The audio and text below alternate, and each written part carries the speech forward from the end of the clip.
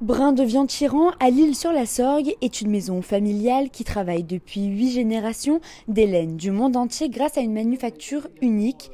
Aujourd'hui, c'est la reprise pour cette entreprise qui, depuis 1808, n'avait jamais cessé son activité. Notre maison existe depuis 1808, huit générations. Elle a été fondée sous le Premier Empire. C'est la première fois que notre maison s'arrête de travailler momentanément, parce que nous reprenons cette semaine. C'est aujourd'hui une double réouverture une partie de nos ouvriers viennent travailler pour honorer des commandes que nous avions. Et puis, c'est aussi la réouverture de notre boutique et de notre petit musée, la File Aventure à l'île-sur-Sorgue.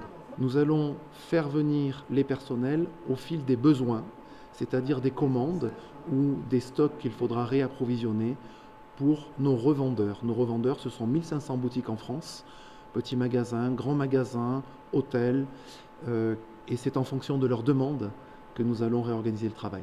La maison familiale a su utiliser ce temps de confinement pour finaliser de nouveaux projets et en imaginer d'autres. Ces deux mois de confinement, euh, ça a été des mois à la maison pour la plupart de nos employés.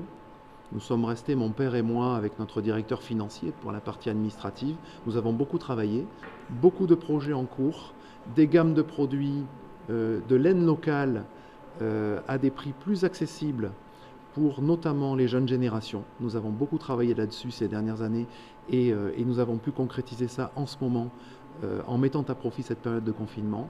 La boutique et le musée accueillent le public toute la semaine avec des mesures sanitaires très strictes.